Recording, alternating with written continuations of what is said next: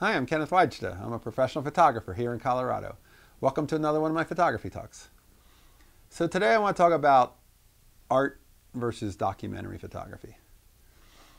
I think that there's a large interest in photography right now, but from a gallery point of view, they're not so interested in documentary as they are in art. And my understanding of the difference is you can say you're a fine art photographer, but if you're photographing people on the street, it appears to the viewer as documentary. So the difference is if you were to photograph somebody mowing their lawn, that's a documentary photograph. But if you were to put the person outside, give them the lawnmower, and create the scene, kind of like a Gregory Crewdson kind of thing, I'll put a link to his work below he creates the scene, then you're no longer documenting. Now you're creating. Now you're an artist. He has a photograph of a car going down an empty street in the snow. The snow, it's a small little town. The snow had just fallen. I think that was a, as I read it, it was a exceptional thing where he had closed the street. He does large format photographs of the, he almost shoots like an art director in a crew of people to light everything. There's somebody standing in a window in the front corner of the store. That person is set by him. The car is driving down the road, and that road is closed, and then it happened to snow, so now the car is cutting the first tracks into the fresh snow.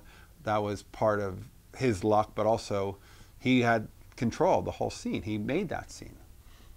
If he had photographed a car going down the street, and a small town and somebody standing in that front window, it wouldn't be art, it would be documentary, which sounds like it's the same thing. But we have a real value on what comes from your mind. What do you create that you didn't have in front of you and you created and placed it? So you see uh, a picture of a person out hiking in a mountain trail or walking in a field. There's nothing terribly artistic about that to the art world. But make it a woman wearing no clothes and put her in a gas mask, and suddenly, oh my God, that's art. Because you created it out of nothing. You created it out of your imagination. Your brain made that, and your art and your tools and your creativity made that happen.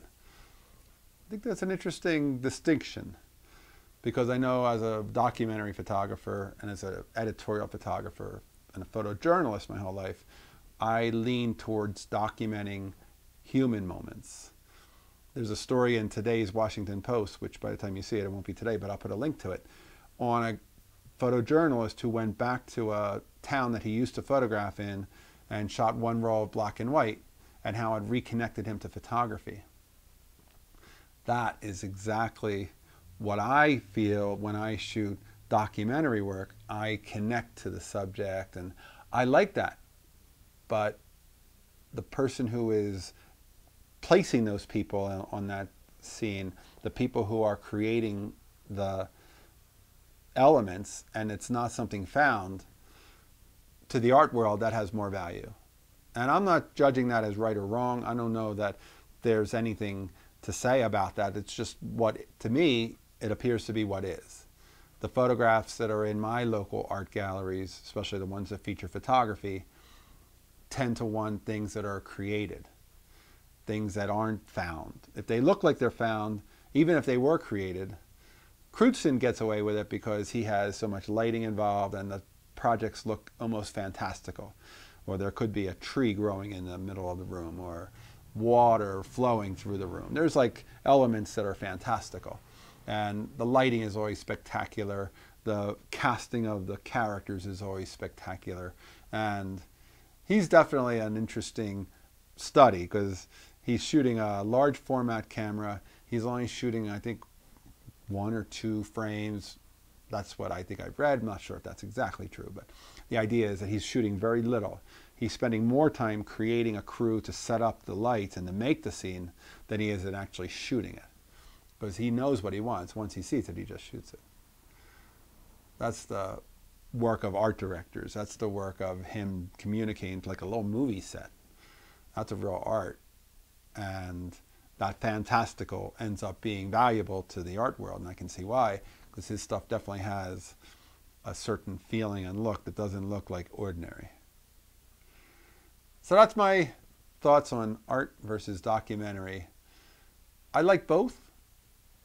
I would like to see more documentary in art galleries. When you see things in old in museums like Robert Frank and Garry Winogrand, that's a lot of documentary.